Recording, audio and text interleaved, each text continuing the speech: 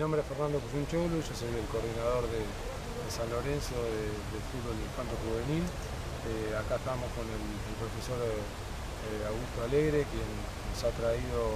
a los chicos acá a San Lorenzo desde Perú para poder eh, que ellos vivan esta experiencia de, hacer un intercambio, que vivan lo que, es ser un jugador argentino en, un club como San Lorenzo puedan compartir nuestra atención, nuestros entrenamientos, en el cual eh, vamos a evaluar si alguno de los chicos eh, en algún momento puedan llegar a, quedar acá en el club en, algún fichaje,